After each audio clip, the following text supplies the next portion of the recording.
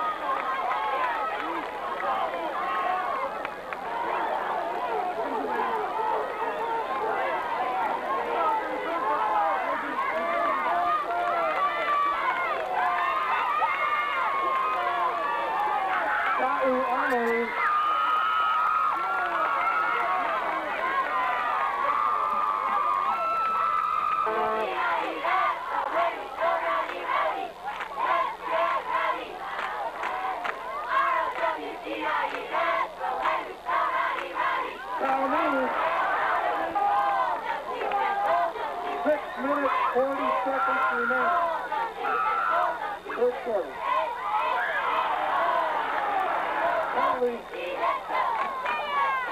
That gives the Devils a first down at about the 23-yard line.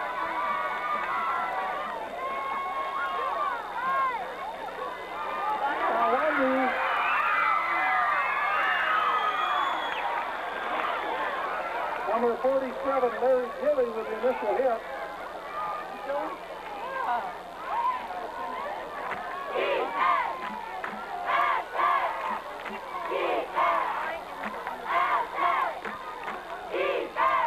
Thirteen-yard line.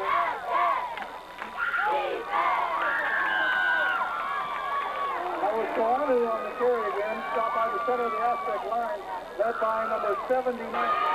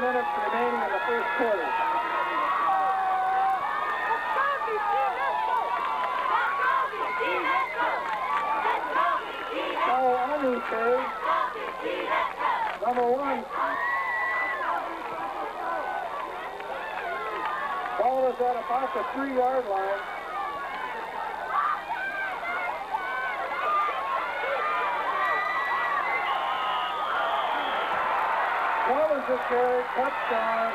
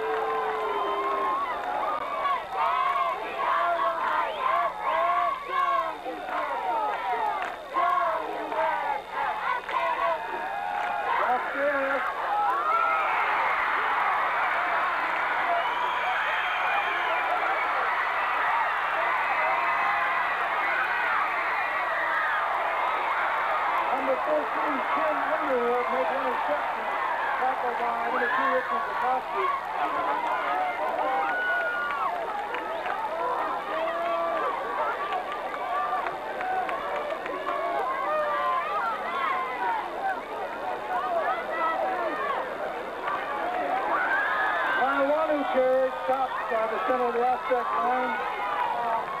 Number 79, Paco Fuentes in the first quarter. Two minutes remaining.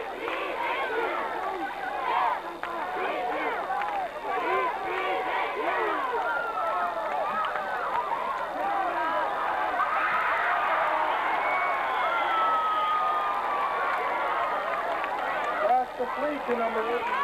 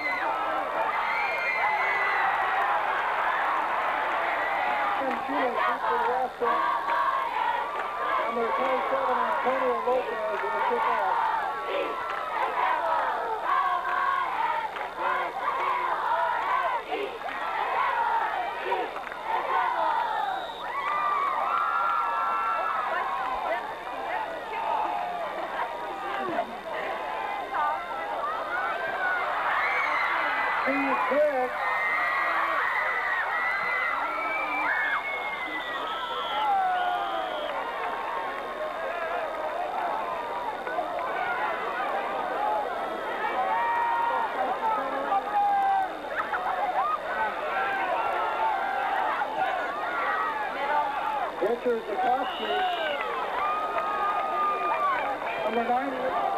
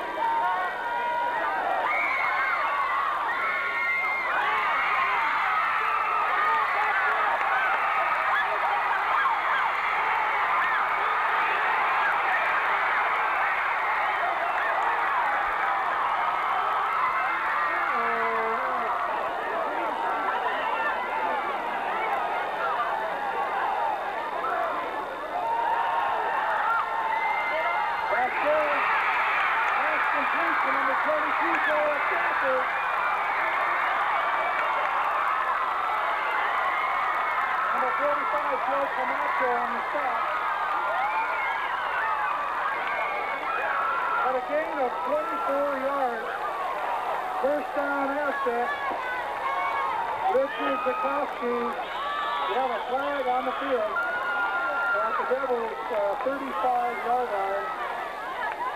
So, Vasquez pass is ruled incomplete.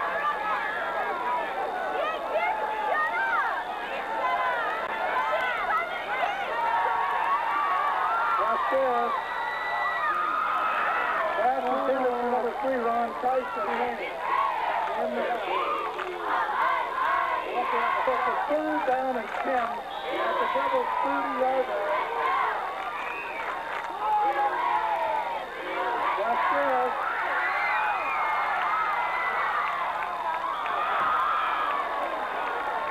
Number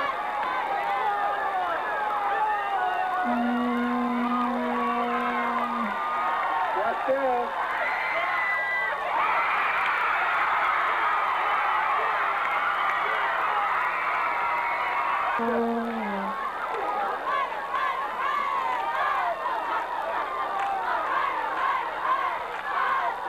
Richard Zakowski stopped in the backfield. Vasquez and Chino in the backfield. With Zakowski.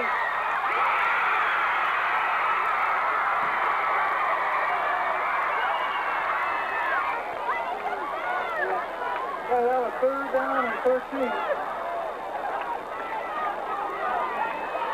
Vasquez.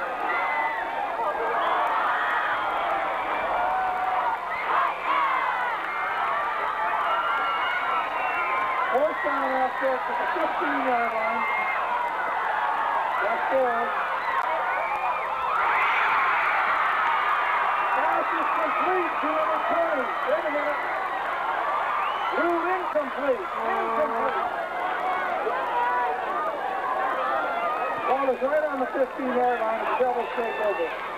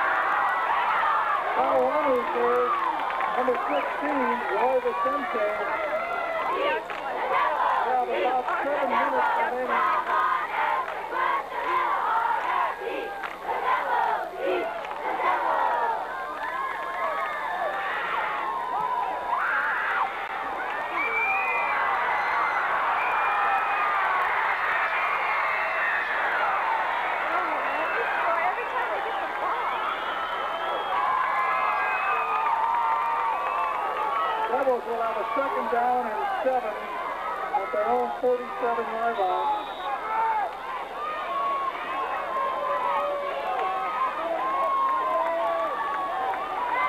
Zaragoza. Pass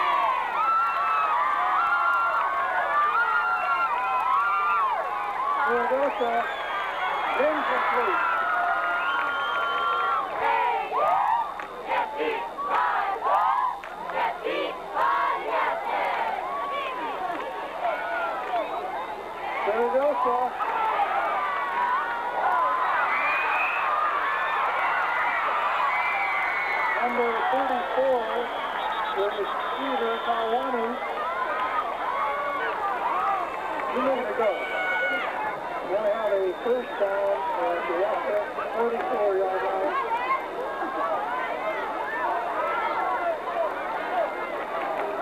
Zaragoza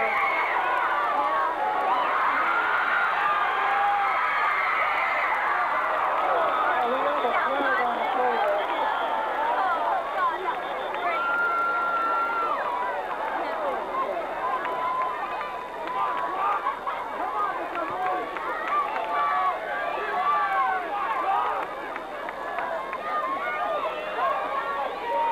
Zaragoza.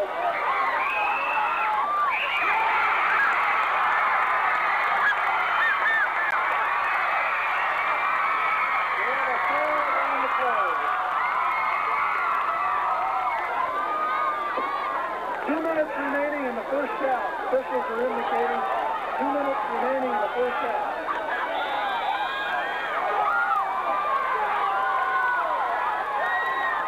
Vasquez. Number 20, Carol Crawford.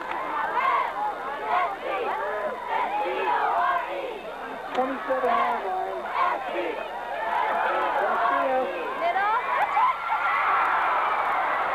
How can you ever heard of diving?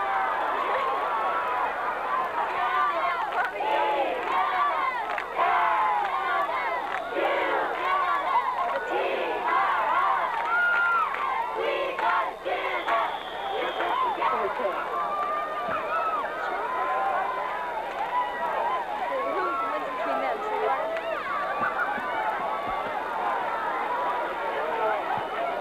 First and 10 at the 22 yard line.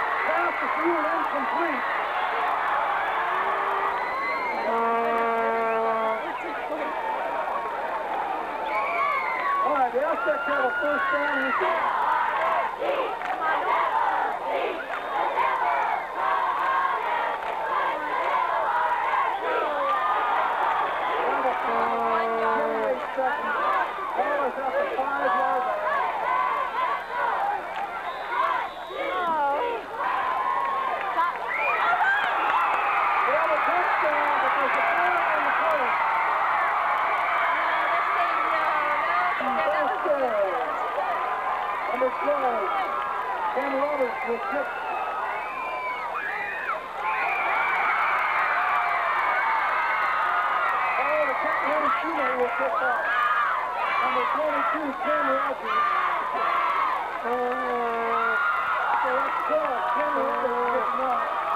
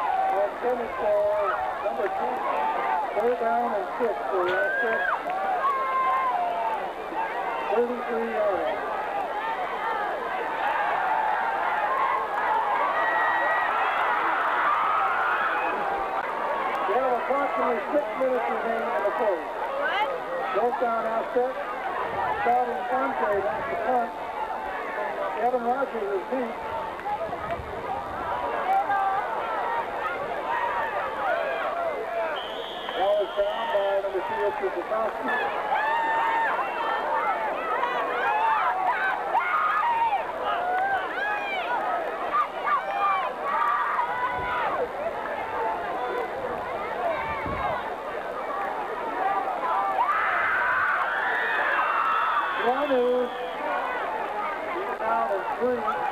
Ball went the extra 46 yard line.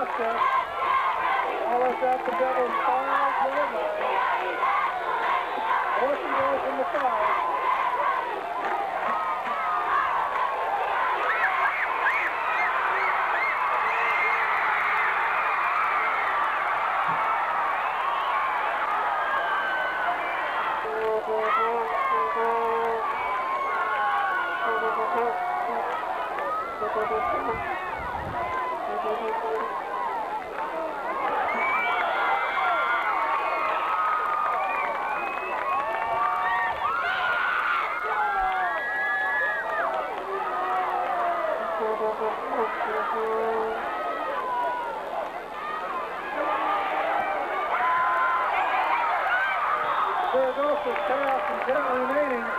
Three time devils at their own one yard line.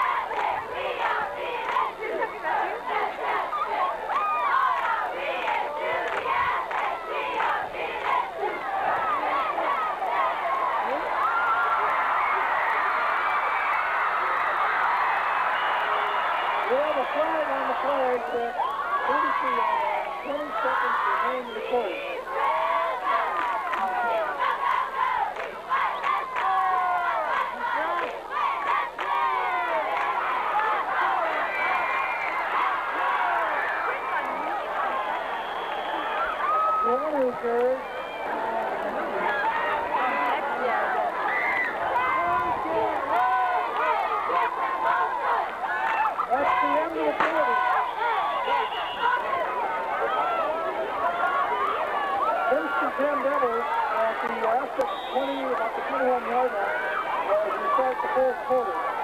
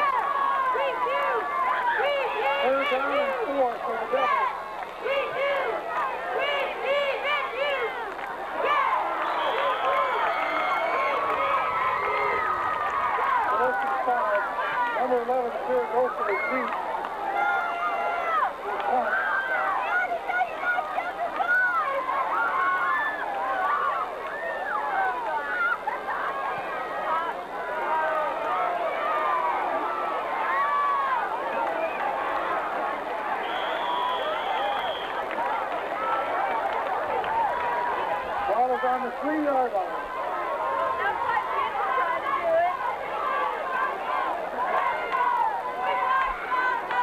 Richard Sikorsky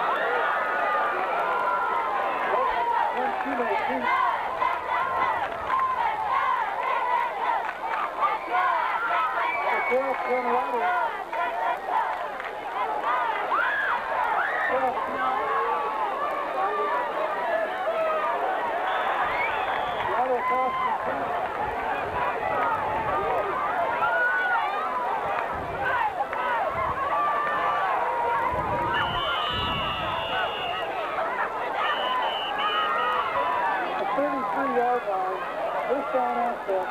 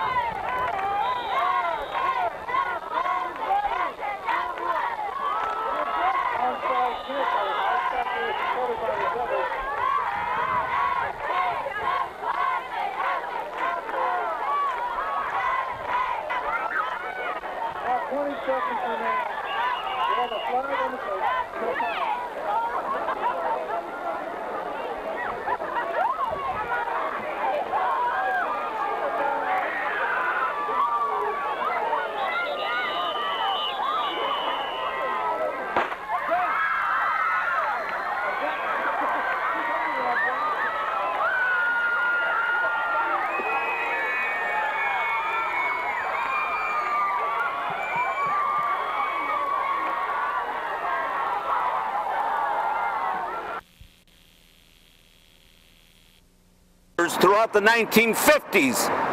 But by 1969, more than 500,000 U.S. military personnel were stationed in Vietnam. It's estimated that as many as 2 million civilians from the north and south died, along with some 1.1 million South Vietnamese and Viet Cong fighters. The U.S. military has estimated that between 200,000 and 250,000 South Vietnamese soldiers died in the war, and 58,000 U.S. armed forces died in the Vietnam War. There was, in 1970, an anti-war movement where hundreds of thousands of protesters clogged city streets and shot down college campuses. The government responded by shooting to death four students at Kent State, and 10 days later, two black protesters at Mississippi Jackson State University. The history of the Chicano movement. In February 28, 1970, Rosalio Munoz organized a march to protest the high number of Mexican Americans dying in Vietnam in LA. In spite of pouring rain, 5,000 people turned out to that march. In July of 1970, several months before the LA moratorium, a march was organized in Houston, Texas, drawing more than 5,000 people. Here in San Diego, there was a march. So it was many of many anti-war marches that were taking place in Chicano communities throughout the Southwest. The moratorium, I remember August 29, 1970. It was a very hot day. Three other persons and myself drove to LA. 1,000 people from San Diego attended to moratorium. We got to LA and I witnessed something I had never witnessed before in my life. I saw thousands and thousands of Chicanos participating to demonstrate in a march from California, Nuevo Mexico, Arizona, Colorado, you know, the Midwest, from Mexico, from Chicago, and they were all getting ready. I remember the march started late, But then people got behind banners of the Virgen de Guadalupe, Mapa banners, Brown Beret banners, UFWOC banners, and we started marching for five miles. People came out from the street yelling encouragement. A lot of them joined in. And then we got to the park. At the park, I remember we sat down. And I remember one of my friends saying, why don't we go to that liquor store over there and get a six pack before the speakers and the band start playing. So I remember we walked into this liquor store and I'll be honest with you, a lot of people were passing out six packs, you know. But that was, like they stated, a block or two blocks away. And I remember when we came out, I told my friend, I said, look, look at all those cops cars over there, like 50 or 100 cop cars. He said, oh, they're probably just monitoring. So we sat down, and then we heard a commotion. And I remember getting on a chain link fence, because it was a chain link fence like a tennis court or what have you. And I looked back, and I could see the brown berets going up to the cops, hey, everything's okay. And boom, boom, the cops started putting a baton to them. And in around three minutes, the word went down. The people in front had no idea what was going on. 30,000 people is a lot of people. And in three minutes, five minutes, the bright sky got dark from all the rocks, bricks, uh, sticks, trash cans, and I don't know what else that people were throwing at the police. It's like a friend told me, it was like 1940, the Zoot Suit riots, all over again. And I remember the police would be pushed back. And I remember individuals guys going up to the cops and just one good punch before they got Billy Club down. And I remember the cops started, more police started coming in and they started lining up. And I kept saying, why are they, why aren't they going in? And then a little while later, I realized why they weren't going in. They were waiting for the wind to get a direction on how the wind was blowing for the tear gas. And I remember three feet from me, a tear gas canister landing. I had never smelled tear gas, and let me tell you something. In two seconds, it makes you say uncle. But people kept fighting, they kept coming. I remember there was a little side street where the the front of the the stand was, and people from the little neighborhood, it was only a half block going into Whittier, had the hoses out and were letting people wash their eyes out from the tear gas. Mothers were holding their kids, crying, everybody's trying to get out. And I remember when I got to Whittier, after we got all our people together, because we didn't know we were at. we, we walked for five miles. We didn't know which direction or anything else. So when we got to Whittier Boulevard, I remember seeing a cop car go by, and probably within 100 feet, that car was totally demolished, totally. So we started walking where, I don't know, down Whittier Boulevard. And cops were coming out with their hand, with their guns and shooting up into the air and pointing it at the people. At that time, this guy with a flatbed truck came by and says, hey, you guys need a ride? We all jumped on top of the truck. And I told him, take us to Pico Boulevard. Because Bert Corona and Abe Tapia had told me that they were going to hold a press conference at the MAPA state headquarters. So we went back there. We held a press conference. At the time, there was an individual a lot of you might remember him, a Chicano who ran for governor, state of California, Ricardo Romo. And he had gotten hit. And I always remember, eh, it's 46 years ago, I can tell the story now. I always remember Bert telling him, don't forget you got hit with a tear gas canister. You understand? When the news media shows up, you tell them that. So Bert and Abe denounced the police riot against the Chicano community, called for an end to the war in Vietnam. And I remember leaving LA, East LA around 6 p.m., getting on the freeway, and I looked back, and East LA was burning. It was burning. So I, I remember getting home around 9 p.m. and Channel 10 called me and said, can you do an interview on 94 where Channel 10 is at? So I went down there and I also stated that the police, again, had attacked a peaceful protest that supposedly was guaranteed under the U.S. Constitution and the Bill of Rights, and that it was a police riot, and that they had murdered Ruben Salazar, Diaz, and Ward. So that's what happened, what I recall, on August 29, 1970. So today, 46 years later, the question is, what has changed? Tell me, what has changed? A thousand people from San Diego attended. Now, I cannot believe that they're that old not to be here tonight. Ruben Salazar, Diaz, and Ward gave their lives that day so we could be here today.